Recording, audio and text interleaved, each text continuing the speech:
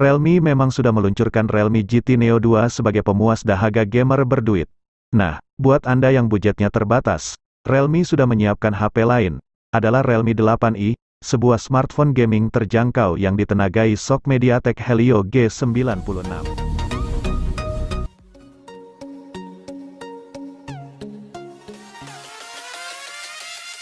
Oppo Indonesia merilis ulang Oppo A53. Jika rilisan 2020 punya konfigurasi memori 4GB RAM dengan internal 64GB, model yang baru ini punya RAM 4GB plus memori internal 128GB. Penyuntikan memori internal lebih besar bukan cuma membuat ruang simpannya makin lapang, namun, model ini juga kebagian fitur RAM+.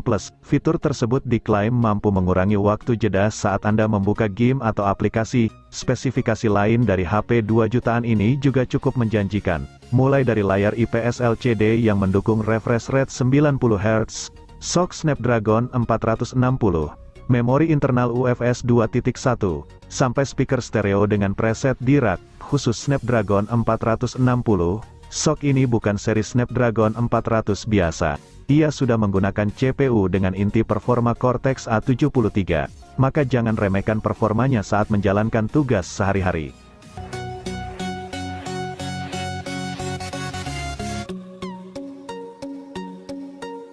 Siapa bilang HP bagus harus mahal?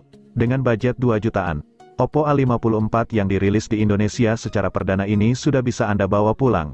Desain bodinya yang begitu menawan serta teknologi layar yang membuat nyaman penggunanya turut menjadi daya tarik tersendiri pada HP ini. Dan walaupun murah, Oppo juga menghadirkan sertifikasi IPX4 yang membuatnya tahan terhadap percikan air. Xiaomi Poco X3 NFC tersedia dalam dua varian memori di Indonesia dan keduanya dijual di angka 3 jutaan. Dengan sejumlah fitur unggulan yang dibawanya, HP ini adalah salah satu pilihan paling menarik di daftar ini. Salah satu bagian yang paling menonjol dari Poco X3 NFC ini adalah tampilan 120 Hz-nya yang sangat cepat.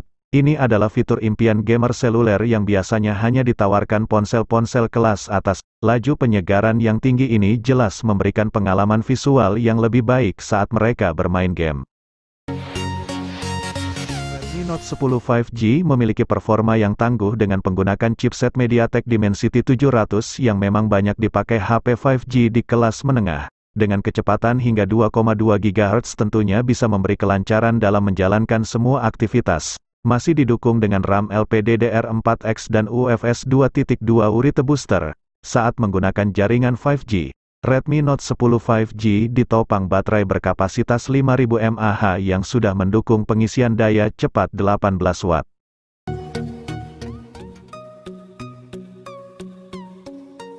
Redmi Note 10S ditenagai prosesor Helio G95 yang akan disokong opsi RAM 6GB dan RAM 8GB, Layarnya berukuran 6,43 inci berjenis Super AMOLED dot display dengan tingkat resolusi Full HD+.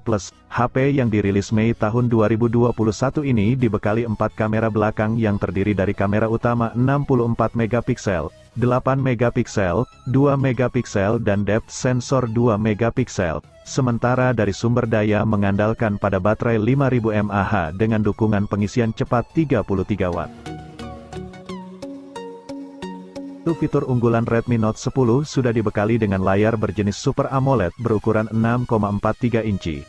Layar ini pun sudah dilapisi pelindung Corning Gorilla Glass 3. Ada empat kamera di bagian belakang yang terdiri dari kamera utama 48 megapiksel dan kamera selfie yang memiliki resolusi 13 megapiksel.